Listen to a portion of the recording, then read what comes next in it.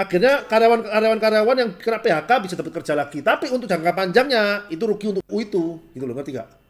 Jadi itu kayak menurutku solusi untuk jangka pendek, tapi untuk jangka panjang rugi gitu loh guys. Menurutku, itu menurutku, menurutku.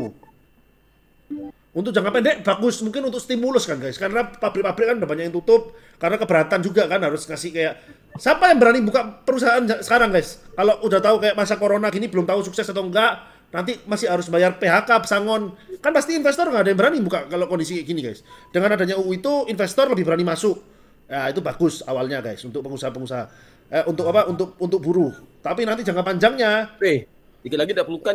Ini bisa disalahgunakan oleh pengusaha untuk memecat buruh. dulu guys. Itu menurutku. Tapi nggak tahu guys, kan namanya pendapat ya. Kita namanya manusia tuh otak tuh berbeda-beda guys. Berpendapat tuh bisa berbeda-beda guys ya. Jadi otakku juga belum tentu benar. Jadi yang yang dilakukan sekarang tuh untuk untuk solusi jangka pendek doang, nggak lihat jangka panjang. Paling benar gini guys ya, harusnya ya kalau pemerintah memang kan berat guys ya, kondisi sekarang corona berat. Menurutku UU itu boleh dikeluarkan tapi ada jangka waktunya gitu guys. Contoh, UU sekarang ya udah buruh itu kayak buruh buruh lebih kayak nggak enak dikit tapi kan daripada kalian juga nggak dapat yang kena PHK PHK nggak dapat pekerjaan menurutku UU ini boleh dikeluarkan tapi sementara guys contoh UU ini dikeluarkan hanya saat masa corona. Nanti corona Oke, selesai. Corona selesai balik lagi ke balik lagi ke apa? Balik lagi ke UU yang lama. Nah itu aku lebih setuju. Contoh gitu guys. Jadi kayak ada jangka waktunya. Nggak harus maksudnya nggak nggak disahkan untuk jangka panjang. Itu mungkin dengan seper- dengan dialog seperti itu mungkin buru-buru itu akhirnya masih bisa lebih nerima gitu loh guys. Maksudnya oh ya udahlah pe- pengusaha sekarang lebih susah. Pastinya kita ngalah juga gitu loh. Oh. udah selesai. Mainnya Ada udah selesai, kok. Udah selesai mainnya, Yur. Yur, apa lu udah selesai mainnya. iya kurang player cuma tiga orang ya santai lah kok udah kurang 22 menit kita ngomong-ngomong dulu lah Kenapa lu lagi ngurusin politik? Ayo, lu tadi ngobrol apa, Cok? ngomongin politik, R RUU. Oh. Aku udah jelasin kok buruh. Jadi untuk jangka pendek mungkin memang solusi buat pengusaha dibandingkan efek dominonya itu kalau pengus- perusahaan, perusahaan sekarang tuh susah, efek dominonya juga terpaksa tutup PHK. PHK besar-besaran, negara kacau. Itu yang harus kalian pikirin juga guys. Tapi ya itu guys, kalau solusi dari aku mungkin harusnya ada jangka waktunya gitu loh guys. Padahal kalau untuk jangka panjang memang kalau gue lihat isinya buruh rugi banget sih. Maksudnya nanti bisa disalahgunakan untuk memecat-mecat dengan seenak-enaknya.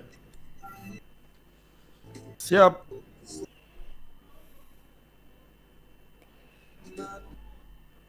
Tanda petik ya jangka panjang guys. Siap. Oh, UU itu dibuat sebelum pandemi. Hmm. Ya nggak ngerti lah guys. Jangan ngomong politik lah. Aku udah nggak terlalu ngerti cok politik. Takut salah ngomong gua. Nggak nggak Iya, ikut ikut.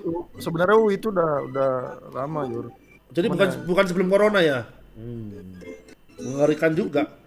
Ya kita cuma bisa dukung kayak ya tetap semangat lah semuanya, Cok. Semangat harus kuat. Gua pikir gua pikir dibuat karena corona. Kalau dibuat karena corona ya mungkin masih masuk akal.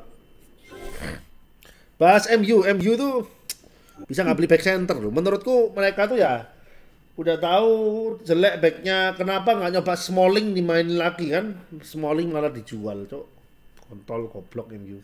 Ya padahal Valencia bagus saya kiri. MU meme, MU meme. Udah Valencia tahu. masih- Menurutku ya bahkan Smalling tuh masih lebih mending dibandingkan yang backnya 80 juta itu loh siapa itu?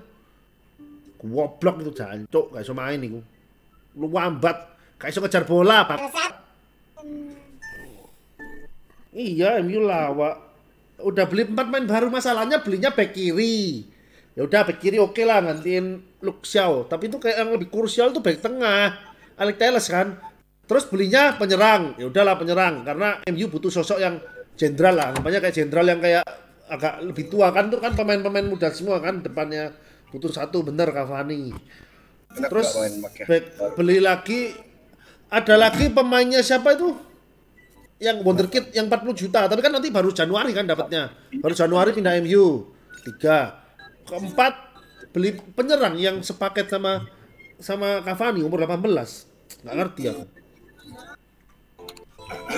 Bahas mobil, bahas mobil apa guys? Ini Isan mau beli mobil loh. Mini Cooper katanya. Udah nyampe kan Yur, mobil dia tuh udah nyampe, Yur. Oh udah, udah pakai. Gak tahu. Kemarin katanya waktu kemarin-kemarin itu kemarin Kemarin kemarin. kemarin kemarin kemarin kemarin per hari lalu kayaknya. Bes gua balik cepet mau ngambil mobil. Keren kali ya, anak-anak ini udah beli, udah ada yang beli Mini Cooper, gitu-gitu. Gua kapan ya? Bahas playoff, playoff. Ya udahlah playoff nanti dilihat aja guys. ya peringkat yang sekarang tuh nggak berbohong lah guys. Mananya nggak jauh-jauh dari situ lah yang juara. Nah ya guys ya. Terlalu guys. Aku maksudnya kayak minder-minder. Lu kenapa kenapa nggak main Yur? Kenapa podcast Yur? Udah kurang 15 menit, 20 menit tadi kurang orang satu pas ya podcast dulu. Udah ini kurang 15 menit ya lanjut podcast lah. Kenapa nggak panggil gua Yur? Udah panggil ya. Kayak nggak tahu guys ya, gue tuh udah kebiasaan. Kayak guys, kalian ada nggak guys di sini? Yang kalian tuh ngantuk, memang kalian tuh ngantuk, tapi kalian tuh hidupnya tuh udah kebiasaan sebelum tidur harus ada kayak kebiasaan dulu gitu loh. Megang handphone dulu, baca-baca baru tidur. Nah itu kebiasaanku guys. Sebelum tidur tuh magic chess dulu dua game baru tidur. Udah Kalau jadi gua ini kalau gua apa namanya harus ada TV depan gua. Jadi Terus TV-nya itu, terus tidur iya. Kalau nggak nggak bakal tidur. sama. Bukan, maksudnya media media untuk tidur tuh bisa segala hal guys. Contoh kalian baca berita atau kalian buka-buka Instagram itu sama aja sama kayak gua Magic Chess. Pokoknya intinya ada pengantar tidur gitu lah. Gak bisa gua kalau habis selesai Mobile Legends gua tidur. Kayak otak gua tuh masih kayak berbelit gitu loh. Butuh yang kayak penyegaran gitu dikit. Klik-klik yang enteng-enteng terus tidur. Nonton Nemo gua Yur. Kalau gitu kalian pasti Marsha jadi pengantar tidur kalian. Iya banyak Yur gitu Yur. Banyak Marsha jadi pengantar tidur.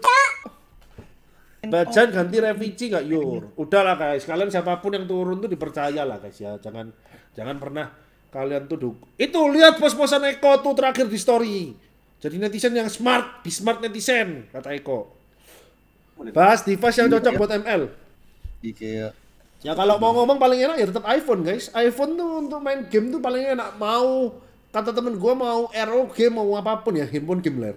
Tapi nggak tahu kenapa kayak Mobile Legends tuh paling suitable tuh sama iPhone paling smooth.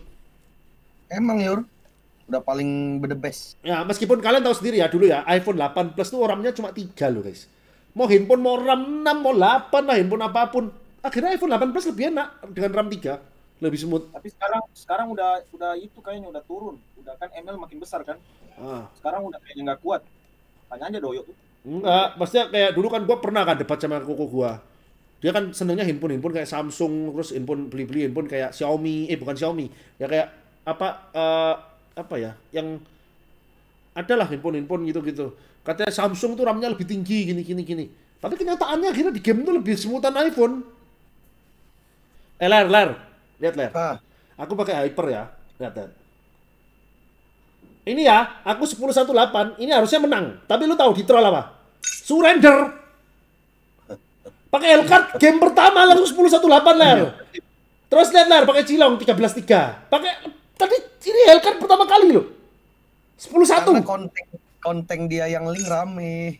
Iya kan Yur? Iya, gua ini ini, ini gua jadiin konten nih yang Hellcard dan 1018.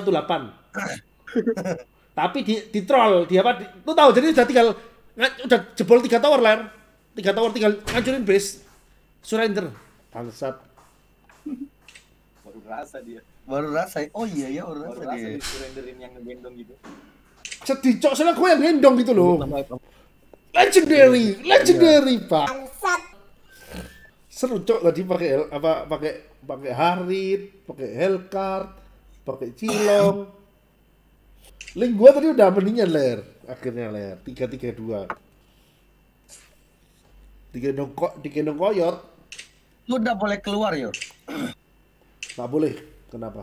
Jadi besok lu nggak jadi keluar. Besok apa? Dia Kenapa? minta DC, Oh, DC, DC di DC ler, DC kenapa? ler Keluar. ada kok. Keluar, keluar. Bareng bini lu. Kayaknya kurang ajar kan? Kalau ke situ berani gitu kan. Kalau katanya rumah Marsha orangnya terlalu banyak, sering keluar semua katanya. Sini kan. Dia tuh lihat story-story lu ler. Ih, ini Marsha kok berani ya pergi-pergi. Ya.